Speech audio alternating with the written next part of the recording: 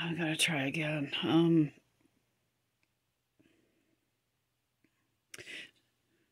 for some reason, I with with CPAP, I do not go into REM or deep sleep. Deep sleep, probably because I'm not sleeping enough. Well, no, that's not true. That's not true at all. There's something that's preventing uh, me from getting REM or deep sleep with the CPAP. And the the the theory is that it takes a while to cycle through the different stages of sleep and you cycle through those stages every couple hours and that's what the theory is but but you know what i get so i get so fed up i get so sleep deprived i i'm in so much pain from the cpap that i say screw it and and i can't not wear the cpap because I have severe sleep apnea.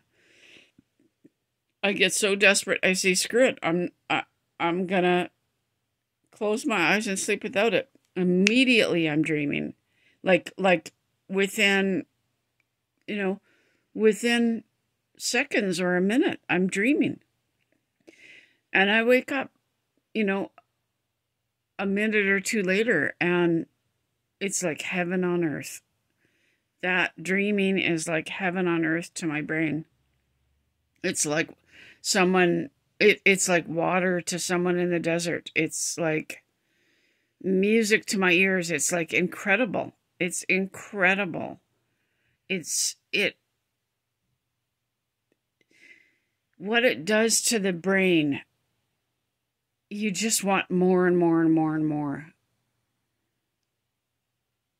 And I wonder what it does to the brain. It's so right. It's so right. And it feels so good. And um and it's not about what you might be dreaming about or the content of the dream or anything. Dreaming and REM sleep and deep sleep does amazing things. And amazing things to your brain and it makes you feel good. It's like a drug.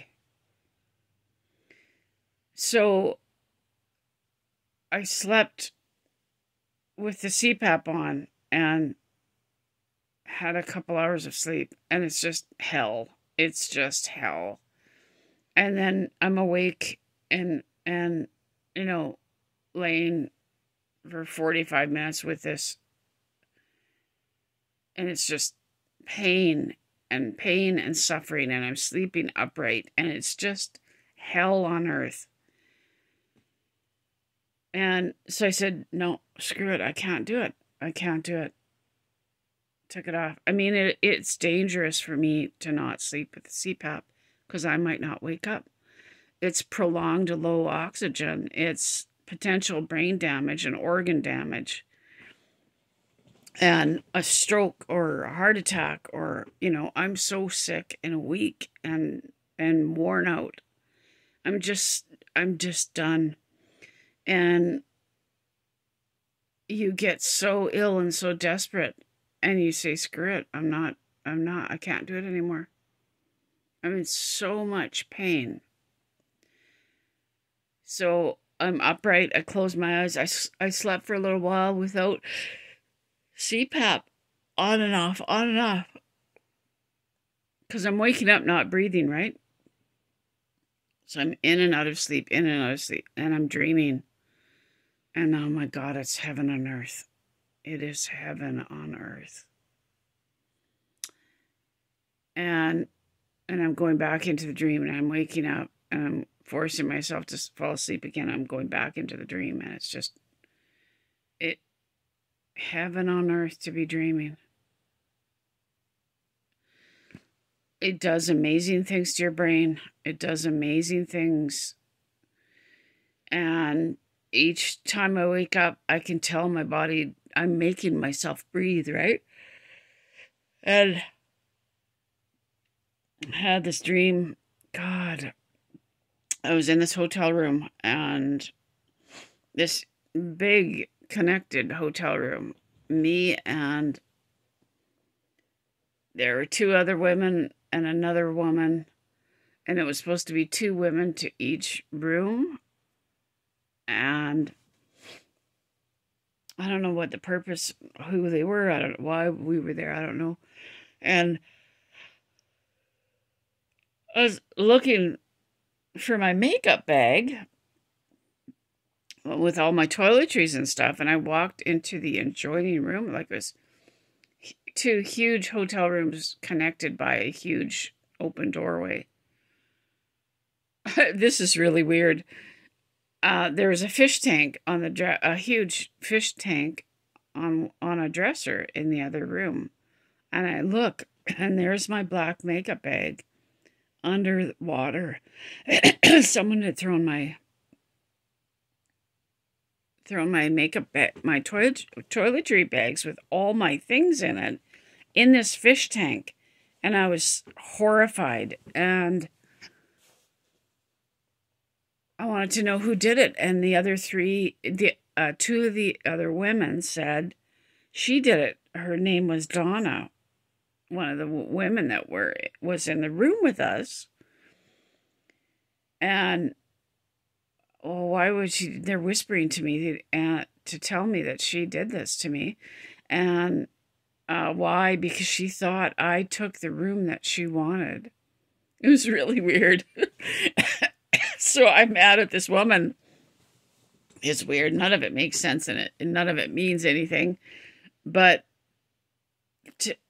just, it was like, and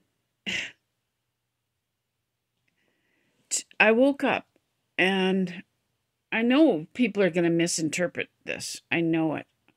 But I, I woke up to go to, I needed to go to the bathroom. So I woke up and I started to walk to the bathroom. I started, I thought I was going to walk to the bathroom in the hotel room, in our room, right? In this huge hotel room.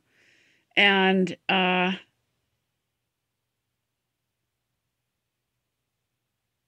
I realized, oh my God, no, I'm here. I'm here. And I have to go to this bathroom here. I, I'm here in my house. And oh my God, you know what it was like? You know, and I'm in the bathroom going to the bathroom thinking, this is hell. This is hell on earth. I've been brought back to hell. And, and, you know what? Uh, the only thing I can compare it to is people's experiences of a near death experience. Or what do you call it? And, and a near death experience or when they die and they go to the tunnel and they go to heaven and they have to come back. They're told that they have to come back and they're like, "No, no. Don't make me cuz it's like all of a sudden it's like you're going back to hell. You're like you're in heaven. This is you found a heaven and to come back to this, all of a sudden, uh, what you know is hell. And I'm in the bathroom thinking, God, no, no, I can't be here. This is hell. This is absolute hell on earth.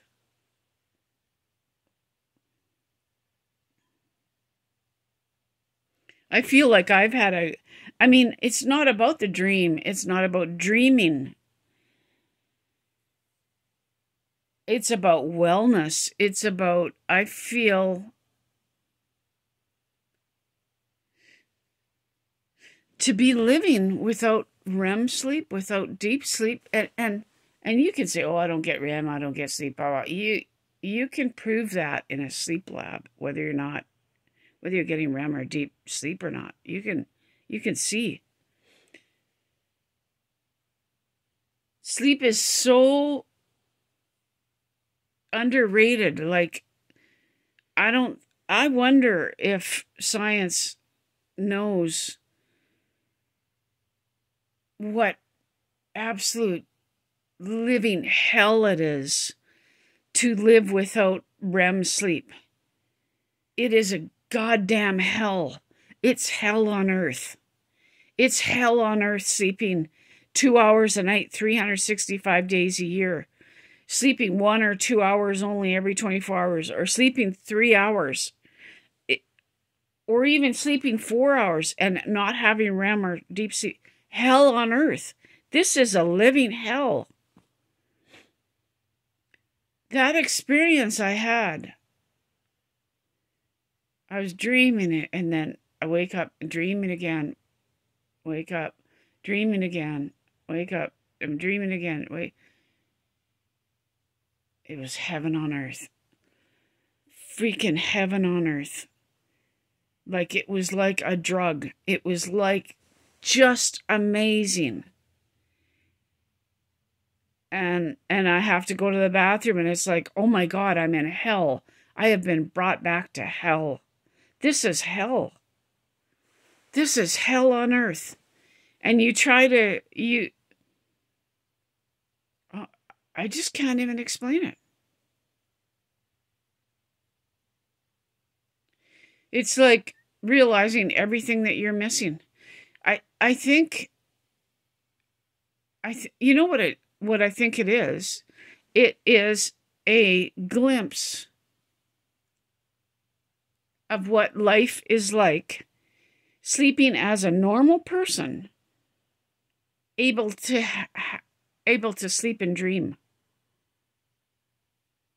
and then waking up back to this hell of not living, not sleeping, not having a life, not having family or friends, not being able to work, not being able to make money.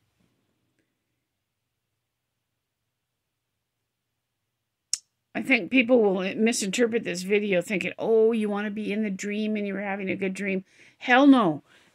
It's the REM sleep. That REM sleep was, you know, I want to say that REM sleep was like heroin. I've never done heroin. It was REM sleep is an amazing drug, or REM sleep is just heaven on earth. It it does something so well. It it just does something so amazing to your brain and to your mind. It was like having minutes of being a normal person and having a normal brain and then being brought back to this hell reality of never sleeping, of not getting REM sleep, of not being able to work, not having family or friends, like trapped in this living nightmare. This is hell on earth. This was like, like,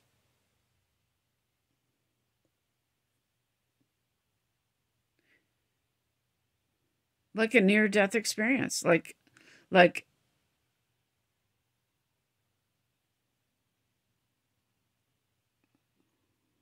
and I, and then I thought, well, it's time to get up.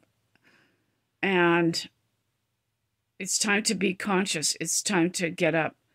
And literally for 45 minutes, my lungs do not want to inflate. My it's like somebody stepping, pressing down on my lungs and my diaphragm. And my body does not want to breathe. And literally every single breath, I am making it happen. I am forcing my body to breathe. I'm forcing my di- my diaphragm to work and I'm forcing my lungs to inflate. Literally every single breath, I'm conscious that I'm making it happen.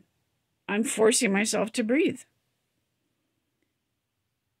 And it's like there's a pocket of air deep down in my belly that's trapped in there and it's like someone is pushing down on my lungs and pushing down on the di- diaphragm.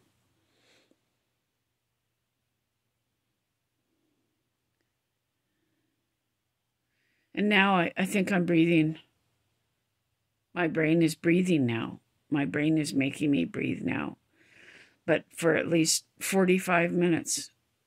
And what a strange, messed up thing to be forcing yourself to breathe.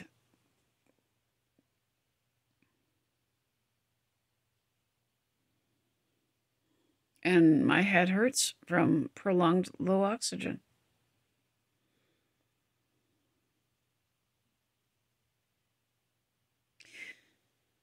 Waking up and being conscious that I'm back in here, in this life, in this desperation, in this isolation,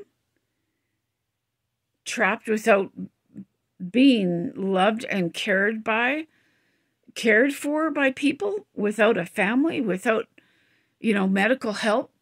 This desperate made me realize this is hell. I'm in hell. What I had when I was asleep or or what that was doing to my brain was heaven on earth. People have no idea the gift they have to sleep and to go into REM sleep, to go into deep sleep, to be able to dream. And and it's not so much about the dream. It's that the stages of sleep is wellness and mental and physical wellness. This is hell on earth. God, to come out of that that dreaming and to realize, oh my God, I'm not going to the bathroom in the dream. I am here in this hell, and I have to wake up to this hell and go use the bathroom here. It literally was, you know, like when people, I know I'm repeating myself, when people die and go to heaven. And and when they're experiencing that, only then do they realize, "Oh my god, I'm not going back there. Don't make me go back there. Don't make me go back to this hell."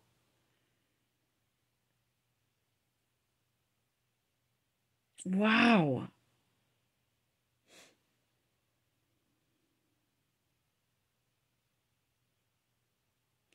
And my body is just my heart and lungs and my diaphragm. I've been running a marathon for decades. I've been running a marathon. I've been climbing an uphill battle for for decades. Like like 45 years or, or all my life. I've been fighting for my life, not sleeping, not being able to breathe. God, can you imagine being misdiagnosed all these years? And it, it, what, it, it's the apnea, but is it the Chiari? Probably.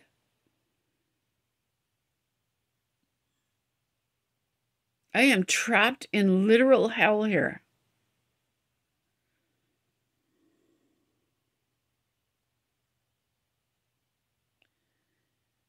I feel like right now I'm I'm right now I'm experiencing what other people who have died and came back are experiencing. It's a consciousness that I don't know. It it puts it into perspective how what hell this actually is.